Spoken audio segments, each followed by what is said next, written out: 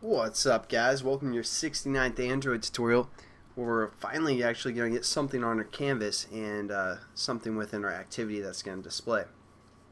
Now that we have our uh, thread set up and it's going to start when the, this constructor is called from our uh, graphics surface class uh, it's going to you know start this thread this thread and it's going to use this run method so we're going to define what is what our thread actually does in this tutorial.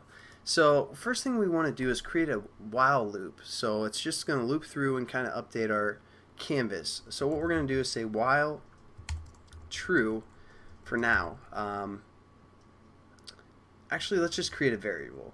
Um, we're going to say while is running and then we have to define what this is running variable is which is going to be boolean.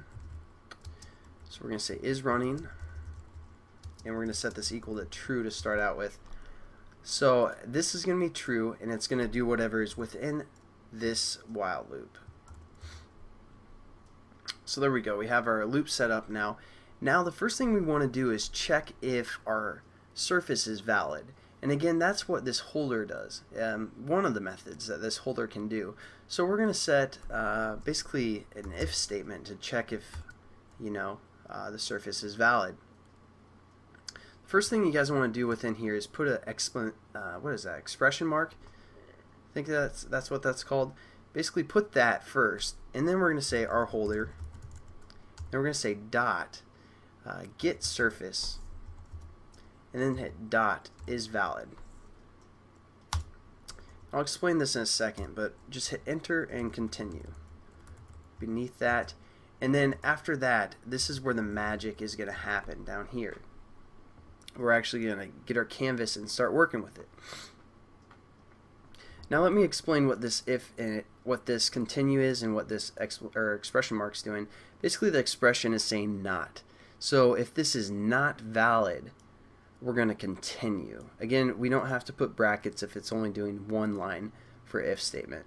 So um, if if the surface is not valid, it's just going to say continue. Now what continue is, it's pretty much like a break when we use switching case because once it hits the break it's going to break out of the switching case loop or whatever and uh, you know this will break out of our while loop if it hits this break statement and it won't get to the magic down here. What continue does is it allows us to still continue within our loop but it's still not going to hit this this magic down here until you know our surface is valid. Once it's valid this statement's going to be false and it's going to skip over this continue and it's going to get to the magic. So it's just going to loop through here when the surface is not valid. Keep looping right here until once the surface is valid, again it's going to skip down here and do the magic. I know I said that in like five different five different times the same thing but just kind of wanted to get you guys to understand that. Now what we're going to do is we're going to set up a canvas. Again we need to uh, paint on. This is where we're going to you know let everything happen and we're just going to call it canvas just like our previous uh, previous time we worked with the canvas. And you have to import canvas. I must have already done that or something. And what we're going to set this canvas equal to is our holder and we're going to lock the canvas to start out with. So we're going to say um, lock canvas. So basically what's happening is we have this masterpiece. We have this great idea and we want to paint it. So we're going to lock our door. And then we're going to paint on our canvas and then we're going to unlock our door and show the whole world uh, what we what we came up with. Basically is what we're we're doing within this uh, within this loop here. So we're locking the canvas so no other classes no other activities can access this canvas. Uh, that's the point of locking it. No other threads can get to it. And so uh, once it's locked this is where we're going to start painting on it or drawing on it I should say so we're going to say canvas dot uh, draw RGB and then we're going to put some random values in here. So like 2 oops um, 2 we're going to have it be pretty blue here. Hopefully I think that's how it works I don't know.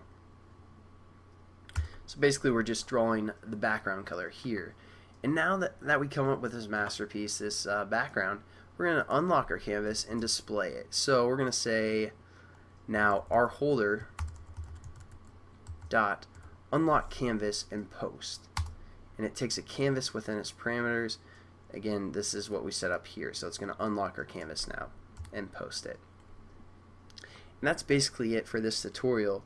Uh, we set up a run method and we start our thread here. Well, we create our thread and then we start our thread, which is going to go through all this stuff. So let's just make sure it works and we'll kind of clean up this thread and I'll show you guys some other stuff you can do uh, in the next tutorial. Getting pretty late, so sorry if I'm like falling asleep on you guys here, but uh, hopefully we don't get any errors. Again, you guys, um, whatever, you have to define that in the manifest. There we go. We have our uh, canvas displayed. Everything's working properly with the surface view and our thread and all that good stuff. So seems to work, and I'll catch you guys in the next tutorial. Peace.